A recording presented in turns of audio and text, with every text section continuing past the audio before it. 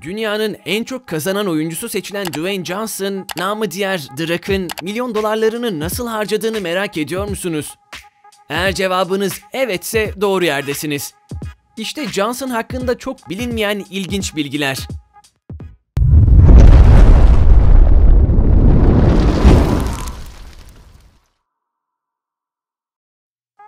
Dwayne Johnson ya da diğer bilinen adıyla The Rock, 2016'nın ardından 2019 ve 2020'nin en çok kazanan erkek oyuncusu oldu. Forbes'a göre 49 yaşındaki Amerikalı oyuncu yıllık 87,5 milyon dolarlık geliriyle Ryan Reynolds ve Mark Wahlberg'i geride bırakarak üst üste ikinci defa zirveye yerleşti.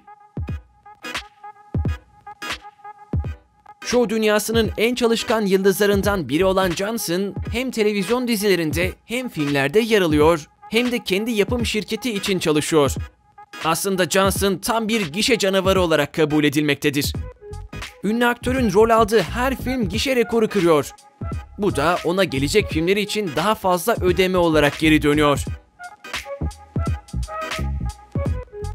Ünlü aktörün rol aldığı 2013 yapımı Hızlı ve Öfkeli 6 788,7 milyon dolar, 2015 yapımı San Andreas 474 milyon dolar, Hızlı ve Öfkeli 7 filmi de 1,5 milyar dolarlık hasılat yaptı.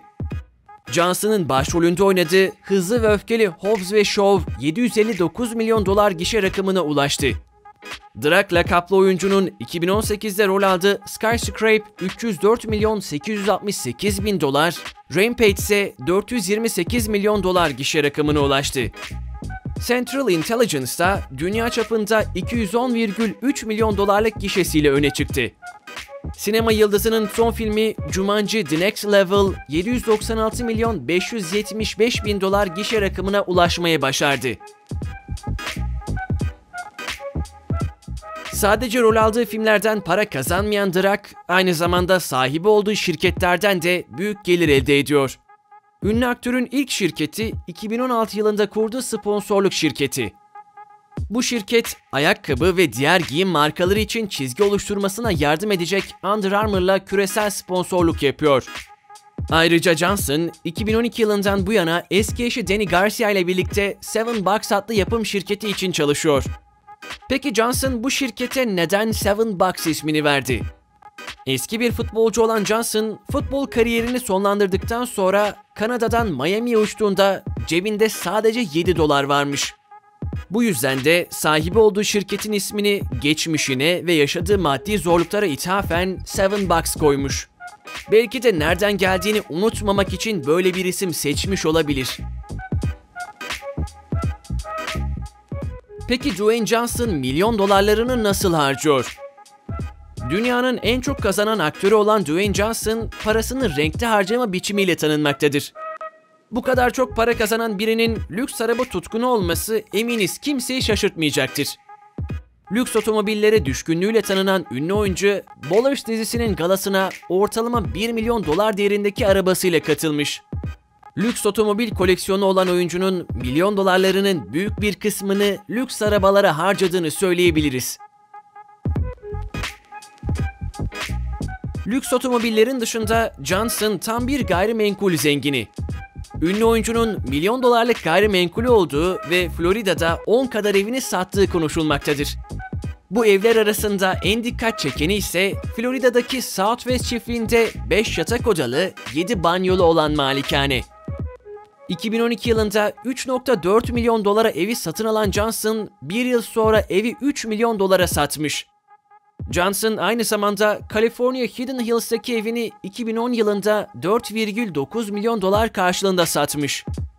Daha sonra ise Drak, Florida'da Southwest çiftliğinde 5,5 milyon dolar değerindeki bir eve taşınmış. Bunun dışında Virginia'da da bir çiftliği vardır. Pek çok ünlü yıldız gibi Los Angeles'ta da bir evi bulunmaktadır. Pahalı malikanelerinin dışında seyahat etmeyi çok seven ünlü aktör lüks yerlerde konaklamayı tercih ediyor. Mesela Central Intelligence filminin Central Park West'teki basın toplantısı için oldukça lüks bir yerde kalmayı tercih etmiş. Lüks otomobiller ve malikanelerden sonra sıra geldi Dwayne Johnson'ın özel uçağına. Aslında bu uçağın Johnson'a ait olup olmadığı bilinmiyor. Kiralamış olabileceği de düşünülmektedir. Fakat ünlü oyuncu seyahatlerini Gulfstream G650 marka uçağıyla yapmayı seviyor.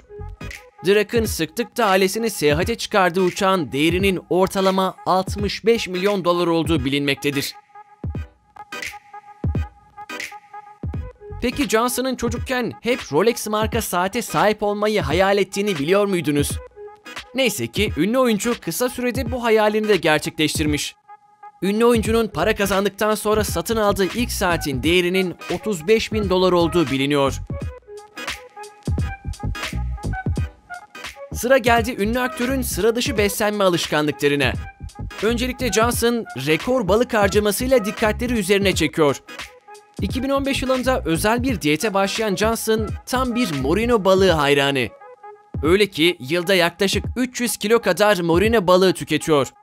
Bu da ünlü aktörün balık tüketimi için yılda 1400 dolar harcadığı anlamına geliyor. Geçtiğimiz günlerde Johnson verdiği bir röportajda morino balığını beslenmesinden çıkardığını söylemiş. Ayrıca fit vücudunu korumak için ünlü oyuncu pek çok kişisel antrenörle çalışıyor. Onlardan biri J.K. Simmons ve Jay Courtney'i de çalıştıran Aaron Williamson. Johnson antrenörüne uyguladığı özel program için yılda binlerce dolar ödüyor. Tüm bunların dışında Johnson tam bir dövme meraklısı. Ünlü oyuncunun dövmelerinin bir kısmını ünlü Tahitili dövme sanatçısı Poyo Ino Yurondi'nin yapmış. Dövmeleri içinde Dwayne Johnson ufak bir servet harcamış. Dwayne Johnson'ın kazandığı milyon dolarları sadece zevk için harcadığını düşünüyorsanız yanılıyorsunuz. Kazandığı paralarını sadece zevki için harcamayan Johnson, kazancının büyük bir kısmıyla yardım kuruluşlarına bağışta bulunmaktadır. Hatta 2006 yılında başarılı aktör Dwayne Johnson, Rock Vakfı'nı kurarak hasta çocuklara yardım etmeye başlamış. Son olarak Johnson'ın otobiyografisi Rock Says, Joe Layden tarafından yazılmış ve 2000 yılında yayınlanmıştır. New York Times bestseller listesine bir numarada giriş yapan Rock Says kitabı birkaç hafta listede kalmış. Paraya para demeyen Dwayne Johnson buradan da kazanç sağlamayı başarmış. Kısacası nereden para kazanacağını çok iyi bilen ünlü aktör kazandığı paraları nasıl harcaması gerektiğini de çok iyi biliyor. Peki siz Dwayne Johnson hakkında ne düşünüyorsunuz? Sizce şu an sahip olduğu zenginliği ve başarıyı hak ediyor mu?